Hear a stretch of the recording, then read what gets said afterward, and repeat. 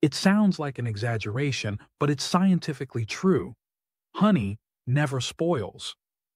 Archaeologists have found jars of honey in ancient Egyptian tombs that are over 3,000 years old, and the honey inside was still edible.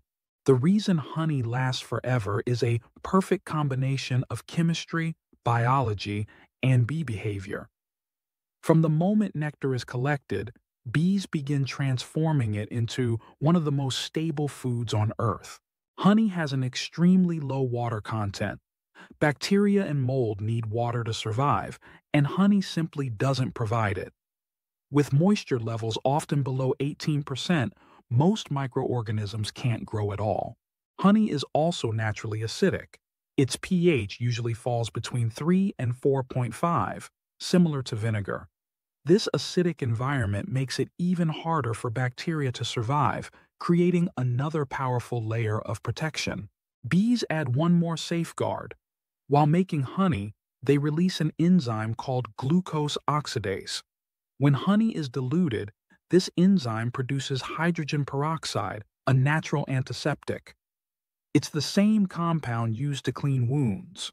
On top of that, honey is packed with sugars.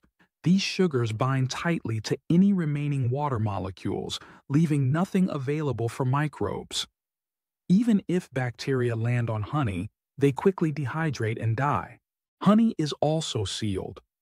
Once stored in a hive, bees cap it with wax, protecting it from air and contamination. As long as honey stays sealed and dry, it can last indefinitely. The only thing that can make honey go bad is added moisture. If water gets inside, fermentation can occur. That's why honey sometimes crystallizes, but crystallization is not spoilage.